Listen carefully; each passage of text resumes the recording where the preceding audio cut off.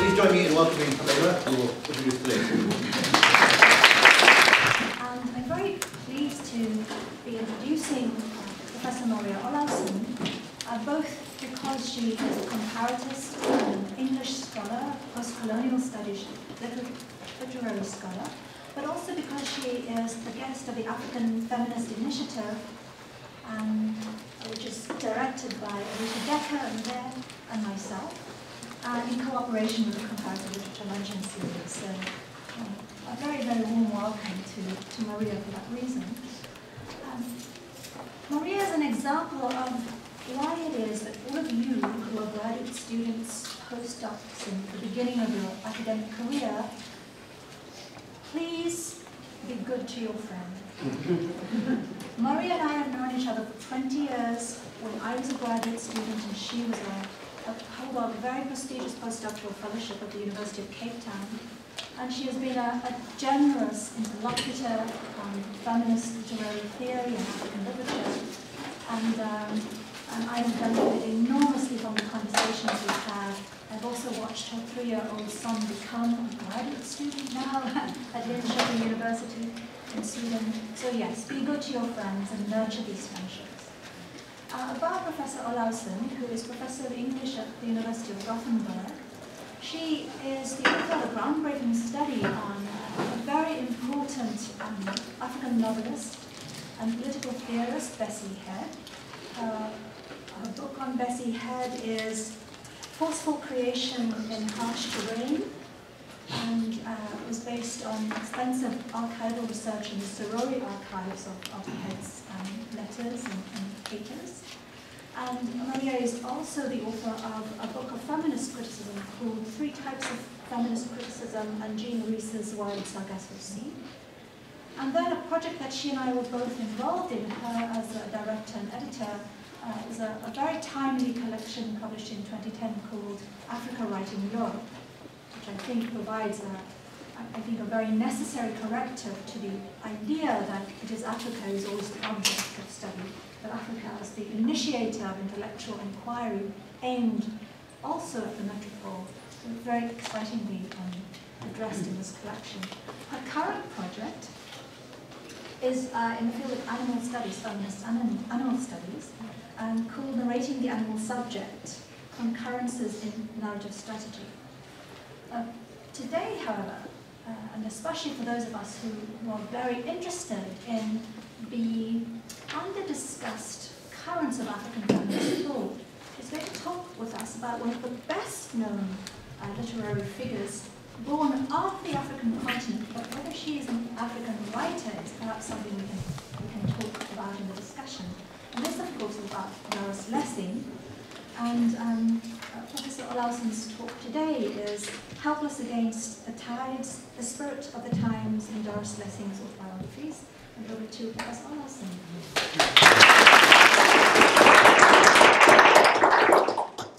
Thank you very, very much, Gabeba. Um, I'm very honored and very pleased. It's great, with great excitement that I come to Penn State. I've heard very much about this university, and of course, it's gloriously beautiful at this time of year. I cannot stop looking at all the trees and all the colors. So, this is a very great opportunity, and I'm very, very honored to be speaking at this seminar. So, thank you very much, Jonathan, and many, many thanks to Gabeba for inviting me. Uh, about Doris Lessing in an African feminist initiative. Yes, I agree. This is like a double or maybe triple irony that Doris Lessing would maybe not have seen herself as an Africanist.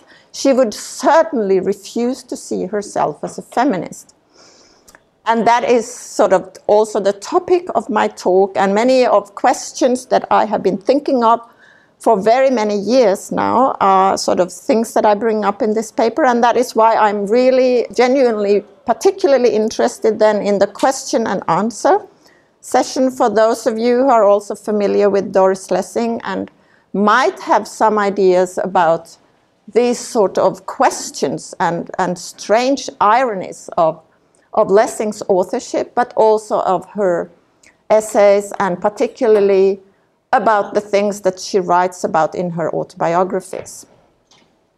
Now, this talk is inspired by a recent project where I was invited to join a number of Swedish feminist scholars, journalists, and authors who all wanted to reflect on their experiences and readings of Doris Lessing.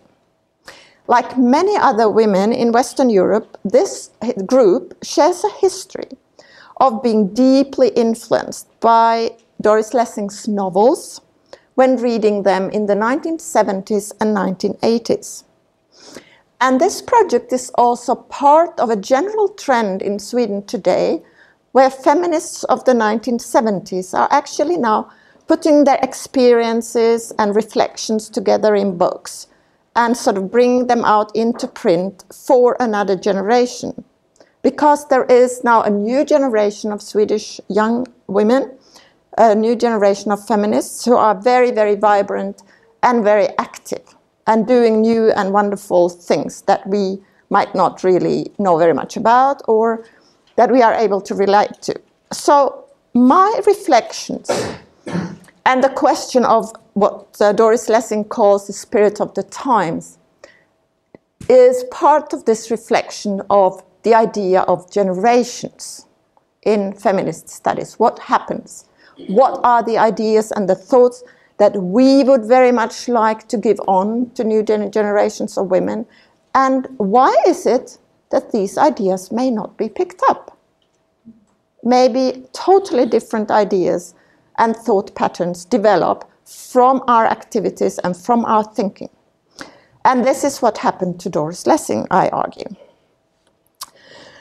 For many women in Scandinavia, the experience of reading Doris Lessing in the late 1970s somehow created the impression that what we were reading about was a depiction of the student revolt of 1968 or the feminist or leftist movement of the 1970s in the United States and, and Western Europe. Because Scandinavia, as you might know, is slightly on the margins of everything. So things sort of come there, but a bit later.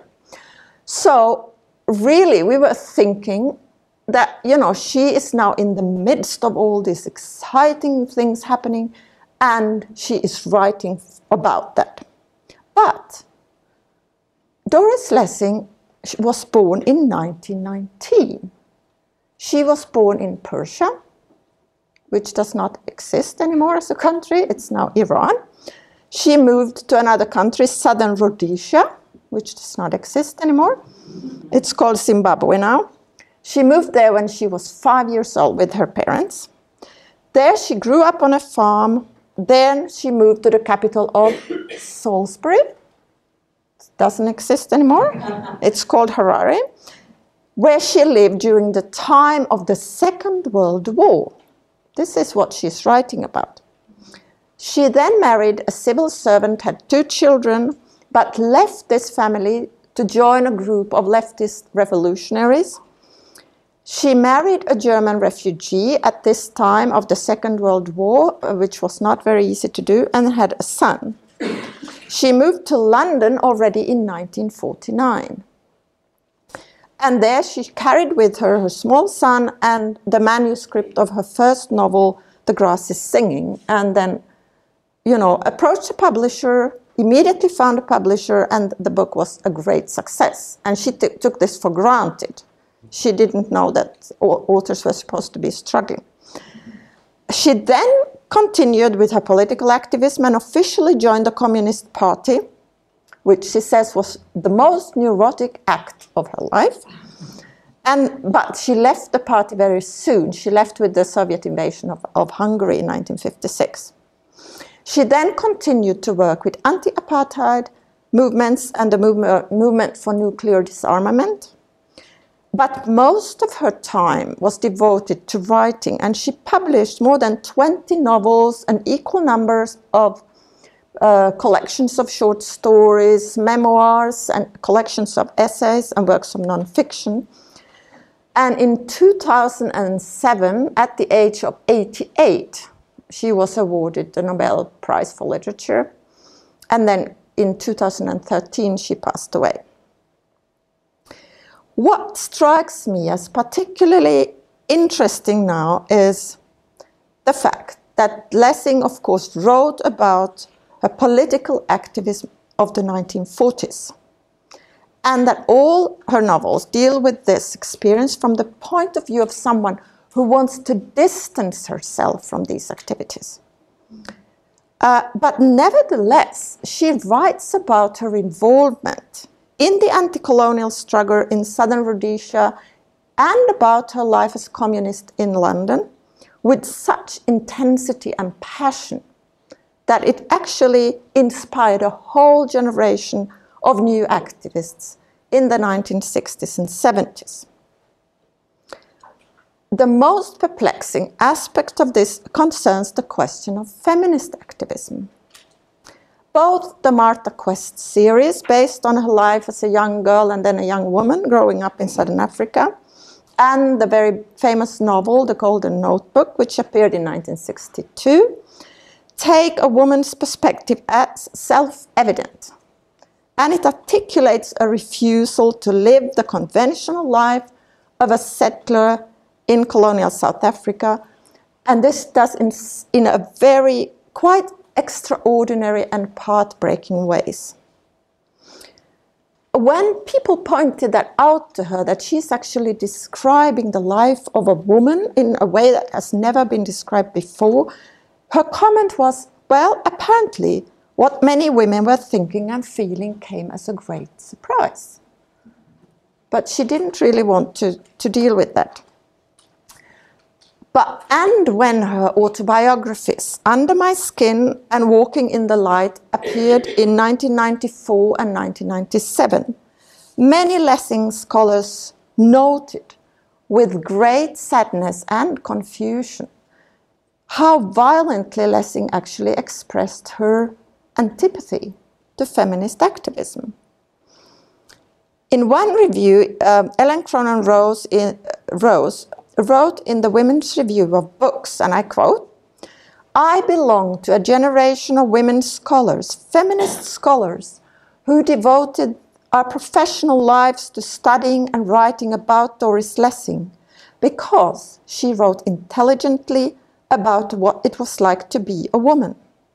How can I preserve my Doris Lessing, the author of books that inspired me and many other women to regard ourselves as thinking, feeling, political, sensual subjects, not just objects of men's desires and fantasies, from being modified or tainted by the ungenerous, worse, unintelligent griping of the querulous woman who is writing this autobiography.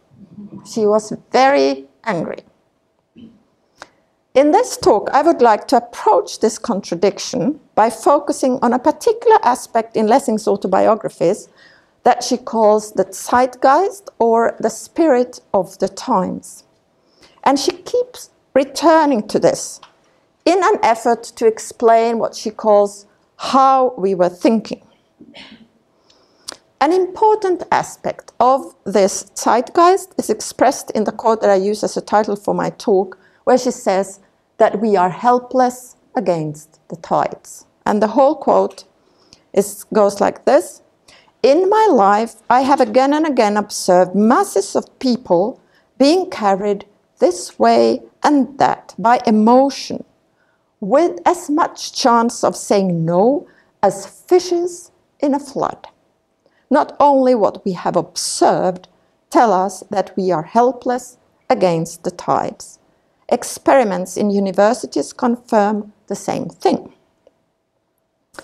These thoughts were, this is from her autobiography, but these thoughts were present in a much stronger form already in the Massey lectures delivered in Canada in 1985 and published as Prisons We Choose to Live Inside in 1987. Here, Lessing describes political activism as part of the phenomenon of mass movements and sees radically different manifestations of the human tendency to be inspired by others and to sometimes unreflectingly be possessed by great ideas as all very dangerous and very undesirable. young people, she argues, are inevitable in, uh, inevitably in danger. And this is what she writes. Perhaps it is not too much to say that in these violent times, the kindest, wisest wish we have for the young must be we hope that your period of immersion in group lunacy, group self righteousness, will not coincide with some period of your country's history where you can put your murderous, stupid ideas into practice. This is the kindest and wisest wish she has for young people.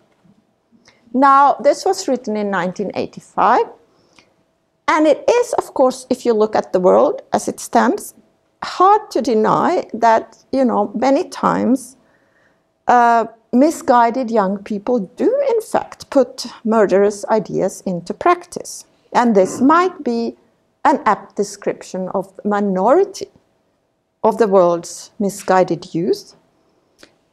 But the question still remains why Doris Lessing ended up presenting her own political work against an unjust and oppressive political system in southern Africa in these terms, and why she so strongly objected to see her own hard won independence as an inspiration for other women.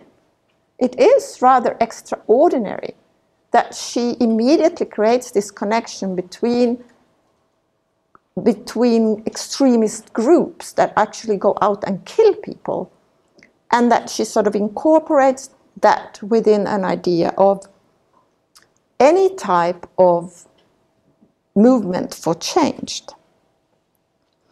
Now, if you look at this within the context of the communist ideology of the 1940s, one might see Lessing's hostility to feminism as part of that ideology's conviction that any preoccupation with women's concerns was a reflection of bourgeois or even of a decadent lifestyle.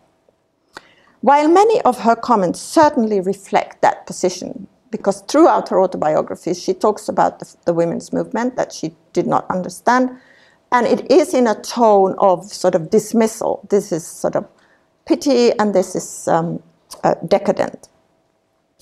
It still does not explain why she would criticize so many and most aspects of these political conviction and still remain anti-feminist. So after all, communism also had deeply puritanical views of sexuality, and Lessing was not puritanical. She, as a matter of principle, she includes a lot of descriptions of female sexuality in quite path-breaking ways in her writing. Uh, also part of communist uh, ideas was that any new forms of literature and art had to be devoted to a re revolutionary cause, but Lessing and her friends read a wide variety of novels and literature, and they were perfectly capable of discriminating between art and propaganda. Lessing explores mysticism as well as Jungian and Freudian psychoanalysis, psychoanalytic thought, and that was also seen as very suspicious. So she was able to break a lot of um, ideas from the Communist Party line, um, but she did not want to go into the exploration of feminist concerns.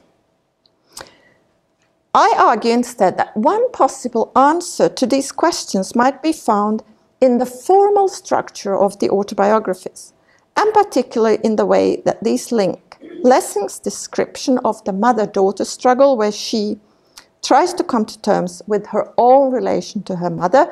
This is now a generational issue that is sort of being brought into a larger question of generations, and her efforts at making us readers understand the spirit of the times of her political conviction.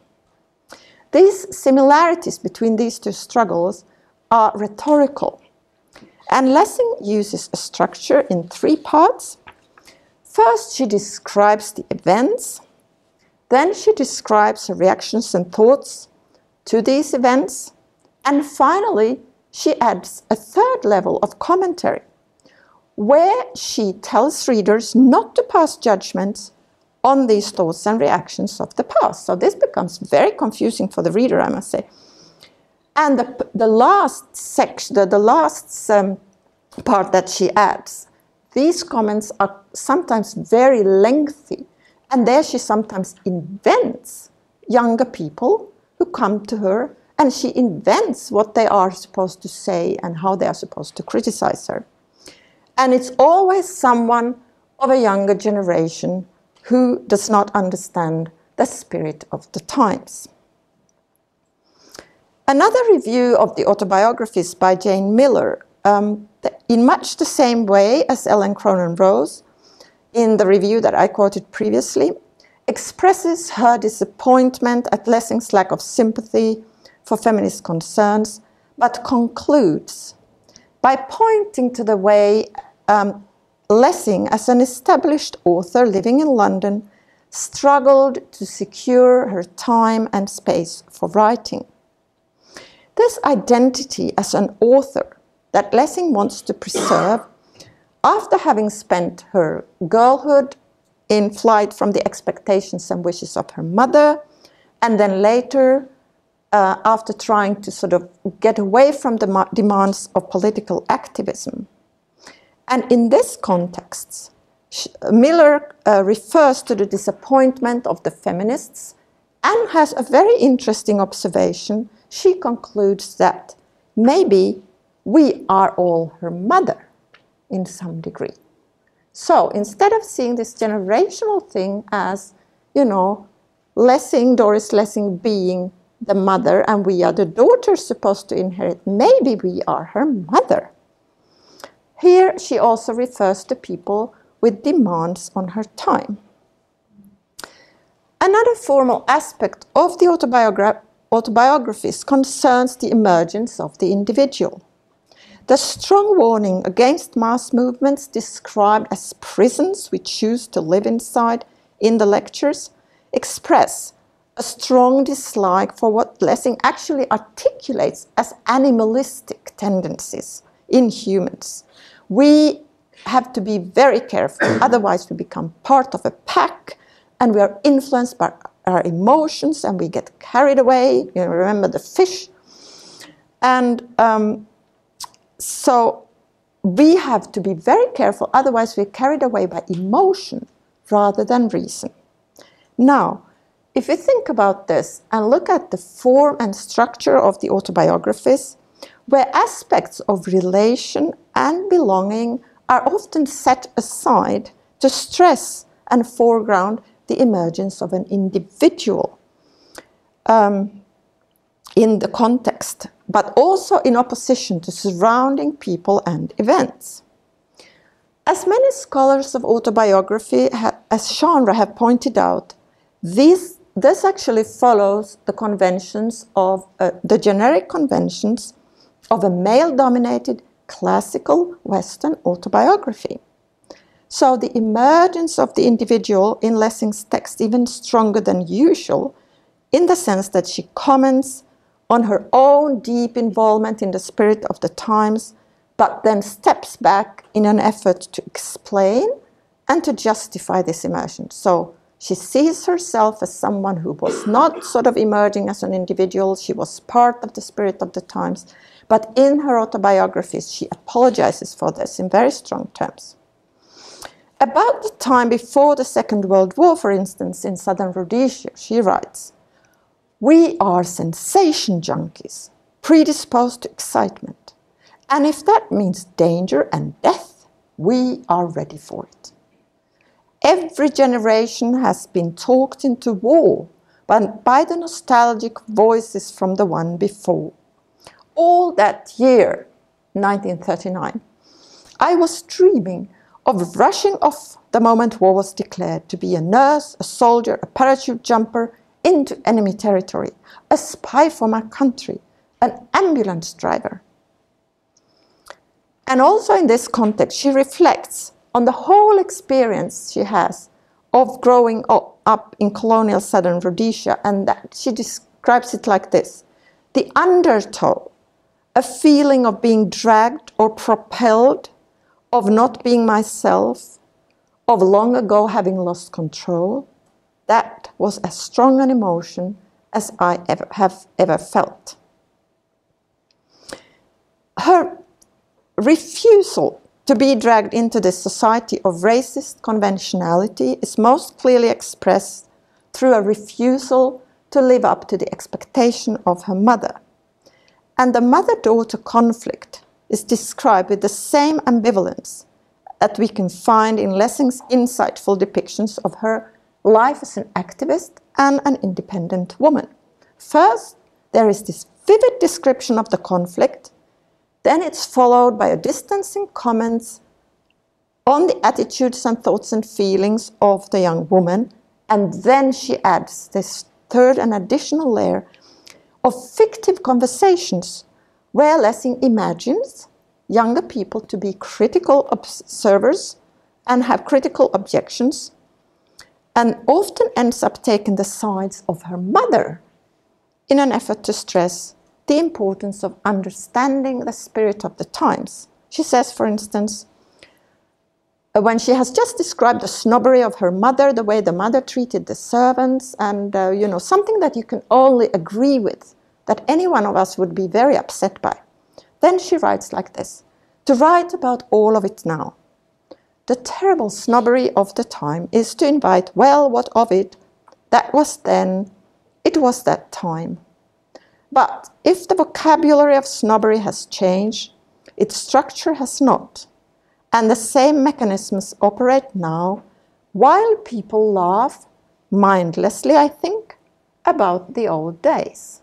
So there she sort of, in a way, she then goes in and um, supports the mother.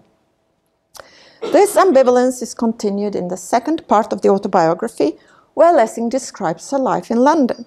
At this point, she had moved from the farm into Salisbury, married, had two children, left her family, married the German um, uh, prisoner of war, and moved with the small, had another child and moved with the small boy to London.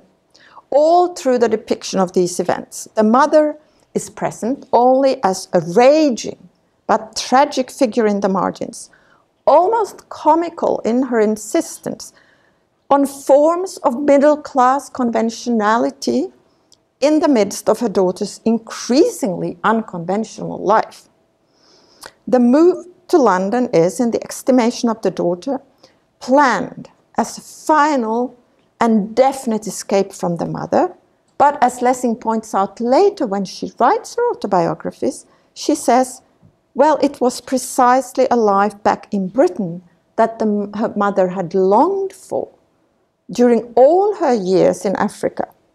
And of course, soon the mother writes and tells of her arrival. And now there arrived a letter from my mother saying she was coming to London. She was going to live with me and help me with Peter. And here was the inevitable, surreal, heartbreaking ingredient. She had taught herself typing and would be my secretary. In the same way as in the first part of the autobiography, Lessing here first focuses on the thoughts and reactions of the young Doris Lessing. She describes her desperation, her absolute refusal, opposition to the plans of her mother, all her discussions with her friends, and their strong advice against letting the mother invade her life once again. And then, only in what appears as a form of unintentional admission, Lessing lets the mother somehow creep into the narrative again. Far from what the reader would expect from these strong objections, the mother does arrive in London. She takes up an important role as grandmother to the young boy. She completely takes over his education. She has him baptized and insists on him going to church and she provides educational opportunities that are designed to diffuse some of the communist influence of Doris Lessing and her friends. But in Lessing's descriptions, the focus on the strong opposition to the mother creates the impression that Doris Lessing did in fact confront the mother or somehow succeed in sticking to her own plans. But only a very observant reader can um, notice that Lessing admits there was never a confrontation. The mother succeeded in carrying out all her plans. She says, I didn't even argue. There was never any point. Now, this rhetoric of ambivalence and inevitability is repeated, exactly repeated in the rhetorical structure in Lessing's depictions of her experience of being part of a political movement. The additional dimension of meta commentary is also present when she upbraids her readers for passing judgment on something they were not part of and that they therefore are not able to understand. And one of the most important political questions concern the British Empire and the presence of British settlers in southern Africa. Her political involvement against the politics of white supremacy and the ideas of empire, Lessing turns against her family, she turns against the values and expectations of her mother. But in the autobiographical account itself, it involves an engagement with this part of her family and family history where Lessing actually refuses to articulate a critique in her own voice. But instead, she again she invents a fictive opponent whom she then upbraids for not understanding the spirit of the times. She talks about her parents' decision, for instance, to move to and start farming in southern Rhodesia, and then she says, It would not have occurred to them that the land belonged to the Africans. Civilization was brought to the savages, that's how they saw it, because the British Empire was a boon and a benefit to the whole world. I do not think it can be said too often that it is a mistake to exclaim over past wrong thinking before at least pondering how our present thinking will seem to posterity. Um, and the most remarkable aspect of Lessing's attitude towards the British Empire does not, in fact, consist in any doubt about the fact that the colonies needed to be replaced by democratically elected governments, but in her consistent and exclusive focus on European culture whenever she discusses literature, art, and music. And those of you who remember or have come across her Nobel speech, this is, of course, particularly and painfully evident because here she imagines a young African woman victimized by poverty and struggling to feed herself and her children, who is coming to a rural village shop where some um, aid organizations are just about to arrive to bring food. And in this rural shop, the young African woman finds remains of the novel Anna Karenina and manages to quench her thirst for culture and learning by holding on and voraciously reading the remains of this European presence. And Doris Lessing imagines this being set in the present time. So this is really highly disturbing. So the political struggle that Lessing against the British Empire that Lessing describes in her novels and in her autobiography can therefore actually be understood as a protest against a system that did not make the fruits of European learning and European culture available uh, to all. And to a certain extent, that of course can be seen as an extension of her parents' attitudes uh, or the attitudes of the parents' generation rather than a radical break for, for it, from it. Okay, to wrap up, I will now uh, say that the rhetorical strategies that we have seen here at work of ambivalence and meta commentary are present then in the talk of her parents, in the talk of her mother, and in the talk of, of her political activism. I will give you one example uh, of how it works with the um, political activism. Instead of imagining young people coming to her work and reading it and being inspired by it, she invents a completely different commentary. Um, she says like this When young people look at you with ironical and amazed eyes and even say, But I've never been able to understand. What they are not understanding is that it is impossible to distance oneself from the strong currents of one's time. Their children and grandchildren will look at them and say primly, but I simply cannot understand. It is quite remarkable and actually quite sad that Lessing invites a younger generation that passes judgment on her instead of actually seeing the generation of younger women that were there right in front of her eyes, who were full of interest and admiration and saw her as a role model. In her need to distance herself from these critical voices, she also missed out on the opportunity to tell a different story, a story that would focus more on the actual and very real causes behind the political work in colonial Southern Africa. She, her interest seems to be directed at finding a way of articulating something of a more general concern that is connected to the possibilities, shortcomings of literature, memory, and autobiographical writing. The depictions of the life of a free woman, she calls certain um, chapters in the Golden Notebook, the life of a free woman, is not about feminist activism or feminist solidarity. They are, on the contrary, inspired by the need for a radical break from the demands of the conventional life of a woman, away from the needs of the mother, from the work of the activist, away from the needs of women, towards the freedom required for the life of the artist. Thank you.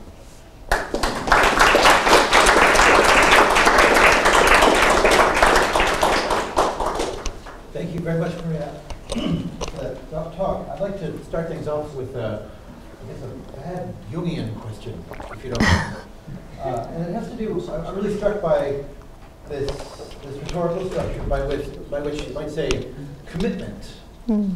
can be measured right? According not to militancy, by which like that's easy, mm. right? Not, not by militant commitment, but by this this structured break, right? Mm. Very terms of an ideology, mm. structured in terms of this conflict between zeitgeist and, and one's mother, mm. um, where like the mother becomes kind of an alien encounter, mm. right? Somehow. Um, I mean, I'm really struck by, by that by that structure. Um, and I, I, guess what, what, distinguish, what distinguishes this from you know, I think a fairly standard avant-garde formation, mm. at least in my book, um, which is to say, uh, uh, to avoid the automatism of commitment by affiliation alone, mm. right? That the, the that, that the, the, mother figure here, the figuration mm. of the mother, as a, as a model of commitment and agape at the same time, mm. um, is no longer like a super ego mm. somehow, right? A model of the super ego, but that needs to be you know, broken with and ruptured and experimented upon, but something more like a, an, an, anima, mm.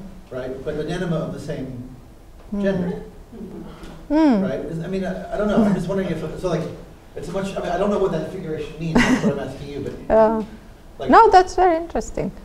Yeah. No, I'm really. I mean, I'm very interested in any thoughts and any ideas about this, and this is certainly a very interesting idea because it's so puzzling the whole thing is very, very puzzling. But then, I mean, in terms then of the mother figure, then would still be would still be something that exists as a mother figure. But here, I mean, the thought that I was intrigued by was this idea that you know, yeah, the connection then between later generations that she can never herself inhabit that position.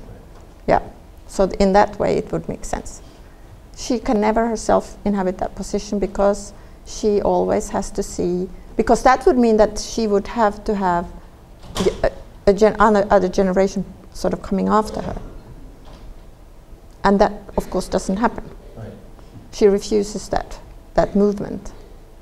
So I will, uh, yes, thank you. I will think about that. um, I really enjoyed this. and I was thinking about your position um, engaging in this, particularly in terms of feminist theory largely, and the huge feminist disappointment Mm. at the position Lessing was taking. And I wondered if you weren't doing kind of a symptomatic reading of Lessing Mm. as um, a type of um, double-bindedness that may register beyond Lessing out into other Mm, forms mm. of double bind. And I wondered if, if there was a theoretical statement of feminism in Mm. the kind of reading you're doing here. I don't know if uh, there's sort of a theoretical engagement. It's more, yeah, maybe in connection to the idea of generation. How do we think about feminist generation? Because I think in like the birth of the women's studies and, and the institutionalization of feminist thought and theory, um, the idea has been to look to read back through our mothers, right? So we read back through our mothers and we sort of look at this, but it's been, but we've never asked their permission, have we? we are reading Virginia Woolf and we are reading everybody and we're picking up their thoughts and ideas.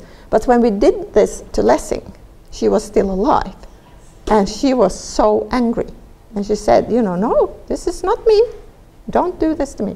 So I think this, uh, it sort of disturbs and complicates that process. And I think um, for people, at least of my generation, and now the people working on this in Sweden, it's very, very, it's a very good lesson, I think, because there are instances of people who have had enormous influence on feminist theory, on sort of have edited all these books about uh, uh, female authors in Sweden and brought out all these collections and are huge authorities.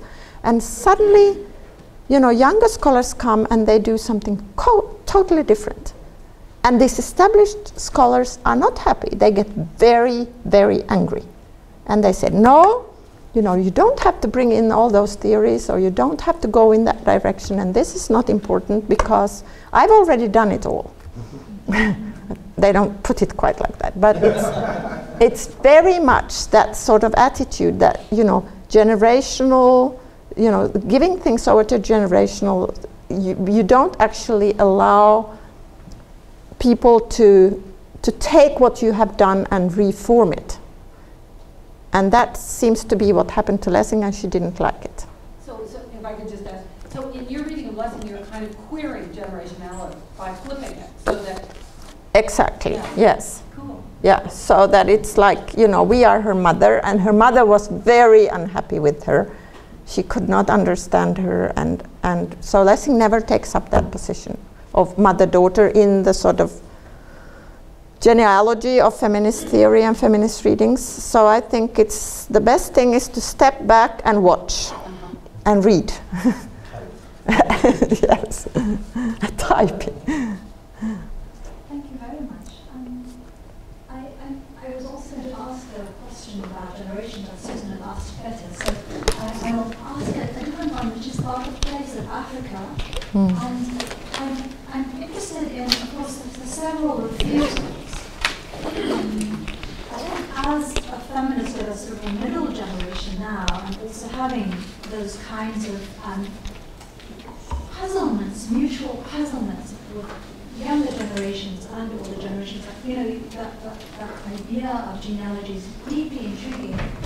And also, a, I think on African feminism, the, the, the particular ambivalence and ambiguity of, of um, Lessing, you know, in feminism on the continent and also her own relationship with the continent. Your paper is very intriguing because it seems to place Africa and her place, her role in anti-colonial struggles that arise specifically in Southern Africa among these um, of a life from which she claims a certain distance in order to have more general relevance, as you say, hmm. on notions of freedom and on, on the meaning of literature, of, of what claiming your own memory in relation to fiction might be. And it seems as though what you're describing is a stepping back through autobiography and its its quite tense relationship with fiction. To distance herself from the specificity of her, say, political work or even the, the kinds of choices she made during her life in Southern Africa in order to claim th- this more general space, which, as you say, is what I, I, perceive you to be saying, a space into the into greater convention. And so I wonder if you can say something about that refusal also, or the distancing also of a relationship to Africa as part of what seems to be a, a stepping back from, you know, the Mm. specificity of several areas of her life. Hmm. Thank you, Gabeba. I think that's very, very central, and it's also something that I need to think through. It's it's very puzzling and very, um, very hard to come to terms with. One thing that I think is very, very. I think Africa is very important. I think it's absolutely central, and and I mean it's central to the way in which she imagines her life as a free woman, and the way she manages to move to London and sort of set up a very unconventional life that was not circumscribed by all sorts of conventions and things. And I think that this is something that she brought with her from this sort of colonial situation where she could she could experiment with this different type of, of life and living. Um, and I think, I mean, those sort of patterns are the same and they do not involve Africa as such. They do not involve any sort of connections with African women or African feminisms or African ways of living, but they are somehow born out of that particular historical moment and historical situation and cannot be seen to be somehow derivative from some sort of I mean there was of course an idea and an, an ideal of that being part of Europe but it isn't really. So that life then started having its own development and its own momentum. Um, so to a certain extent, I think that um, that the distance that she then creates to that life and to those choices and to, to the way she was living then, um, that they are actually um, they actually point in the wrong direction. Her own insistence on that difference point in the wrong direction because I really think that it was absolutely crucial and absolutely central. And, um, and that, you know, you can only by, by looking at that specific situation, and she does say in her autobiographies that she was part of the end of the British Empire in Africa. So she does acknowledge this is her historical setting, this is wh- where she grew up, this, this was her life. And she's full of admiration for her mother as being this capable woman, this person who was really took her children very seriously, taught the children at home, imported all these books from England, and you know she's full of admiration for that. And then she sort of, as you point out, there is this sort of second part that then comes in and and describes her need to distance herself from all that. It's very interesting that the way she does that is through autobiography, claims back Yes. um, against what, in fact, as you point out, is a crucial misreading of her in terms of time, in terms of space. Yes. So it's very interesting this uh, Mm. formulation you give us of how autobiography works against. That's very interesting, yeah. Mhm. Uh, Thank you for your talk. Um, Another conundrum about Doris Lessing is the amount of science fiction that she wrote. Yes. Um, In fact, I can't think of another Nobel Prize winner who wrote science fiction. Um, And, you know, so far the discourse has been a lot about roughly realism and relation of literature to reality. And I'm just wondering where you see the science fiction fitting in or connecting with any of the themes that you brought up. Hmm. Uh, Is this Uh, Is this a way of disassociating herself with some of those expectations? Is it a way of rethinking generational models? Um, uh, Is it a way of, of, of realigning uh, some of the, you know, some of the um, autobiographical features that you began with? Mm. Just wondering. Thank you. Yes. places that don't exist anymore, for example. Yeah. Places that don't exactly. exist yet. Yeah. Thank you. Yes, I think they are probably very important. My problem was that I I was so bored by her by her science fiction. It's important. Yes, I think it's like, I mean, why does she suddenly, you know, after she has written all these wonderful books and you're waiting for more, then you, oh, what is this? Um, but I think you, you're probably right. It's very, very, very important. It's, it's, I'm sure it's all of the things that you mentioned. It's a way of distancing herself from ideas of, you know, what does, of realist fiction you know the communist expectations that you have you write certain things only to sort of for the cause uh, to take that to the absolute extreme you start writing science fiction um, and also yeah ways of imagining things of putting her imagination into into the future of what things could be like so i'm sure some someone of another generation would be most welcome to read all her science fiction Rose wanted What I wanted to ask you about is, uh, it might be kind of strange, so bear with me, but um, to reflect on, in a bizarre way, Doris Lessing and Bessie Head. Mm. So I'm thinking here of um, a question of power, Mm. and I'm thinking of the kind of strategic refu- refusals of certain kinds of community Mm. that reappear persistently and resistantly in a Mm. question of power. Mm. And I'm also thinking of the relationship with the younger generation figured in the little boy Mm. of a question of power and the notion of writing because he makes the drawing of the plane. And Mm. there's this sense of supposed motherliness in the autobiographic narrator, but then at the same time, or, or, the, the fictional narrator, because it's Mm. a fictional narrator, goes backwards and forwards, but um, I'm wondering if that, I, I guess what I'm trying to get at is if we're struggling with the notion of African feminism or African feminism, it seems to me that there are some sort of very bizarre and interesting correspondences between Lessing and Hmm. Head in the strategic refusal, the relation to the youth as something that is, has, youth that has its own freedom, his or her, I'll say it's because it's a very distant figure in a question. Mm.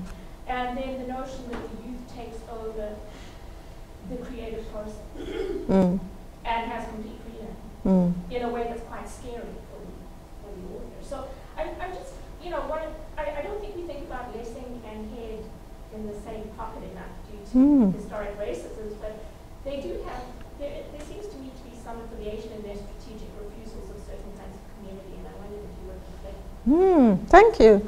No, I think that you're absolutely right. I think there are a lot of similarities, and I think you're absolutely right in saying. I mean, we think of them as very different, but they're not. I think they're very, very similar. I mean, I think Bessie Head, in her, I mean, she she went into a different type of, of exile, but she went to an African village, which is really extraordinary, and she couldn't communicate with the people because she never learned uh, Setswana, so she couldn't speak to them. And she was sitting in this rondavel in the hut, and there she had her typewriter, and she complained because the goats ate all her paper, and she complained about you not real, really having enough paper, and you know, for her, and the typewriter didn't really work, and all these sort of things. And the similarities also, also about these imported books. So the sustenance and the reading they did, and the, the sort of the correspondence she carried on was all with people at different in different parts of the world, but not very very very few people in the village itself actually knew, you know, who she was and what she was doing and who is this woman. And she's also deeply resentful. Yes, yes, absolutely. And she didn't she didn't want to make friends in that manner either. So you're absolutely right. There are very many similarities, and also, um, I mean, she was. I, I'm also thinking of Maru and, and the teacher. Yes. The way she depicts uh, younger people, school children, as actually as monsters. Also, another th- point of similarity is this idea that, I mean, Doris Lessing, she talks about the terror of Stalin, Stalinist terror, and describes it and says, I wish I could say that I would never have been part of this, that I would blah, blah, blah. And then she just ends by saying, um, talking about killing of people, she says, There, by the grace of God, I did not go. But in Maru, there is the same idea that she actually sees herself walk up to this child in a school when she's a teacher and sort of wring the neck and kill the girl. Like a chicken. Yeah. And then she says, Oh God, I'm so happy. I, I didn't do it. I didn't do it. Oh, I'm so glad. So there is this deep feeling of guilt, of feeling that if I'm doing something, if I get active, if I get sort of involved, I will actually end up killing people, which is really extraordinary. I think we have time for one more question. Um, I want to ask you about how your kind of narrative, if you look at uh, Doris Lessing going back to Zimbabwe and back African laughter, to Mm. me, it, it, it seems like her kind of pulling back from Africa is her experience of going back to Zimbabwe and being totally disillusioned with what she Mm. thought was would happen of her, you know, engagement in the liberation struggle and, and so Mm. on, and then going to Zimbabwe and being totally disillusioned. I Mm. mean, to me, it, it seems like that, like her political tent pulling back from communism, influenced, you know, what she did after that. Mm. Yes. yeah, thank you. I think that's probably correct. I think that because there are passages in her autobiographies where she keeps returning to, to the discussions that this leftist group had in, uh, in Salisbury, where they were discussing, you know, what uh, freedom would be like. And she said, we were very, very stupid. We thought that people, by, you know, by being oppressed, they would, by necessity, then also be only, you know, wonderful persons and they would not have any base desires and they would not sort of be misguided in any way. So she, and I'm sure that is exactly the, the reason she adds this. I mean, that comes later. So I think, thank you. Thank you all very much. Please join me in thanking Professor. Thank you.